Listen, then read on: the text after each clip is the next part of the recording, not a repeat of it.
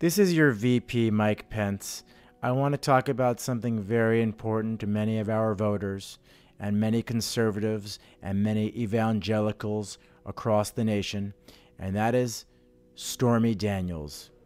And especially the comments that she made on 60 Minutes accusing our great president, a great man like President Donald Trump, was accused of laying with her and enjoying her body and spanking her with a magazine, which I truly don't understand.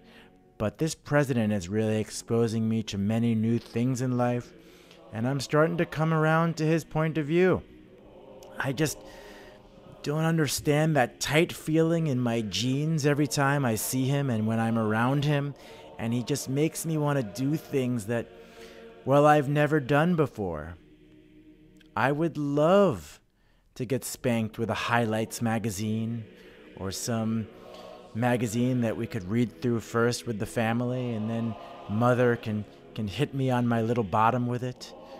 And then she could take my tie off very slowly revealing my button down white shirt beneath it and do some touching over the clothes of course. Uh, this president has such an incredible effect on me. Stormy, we love you.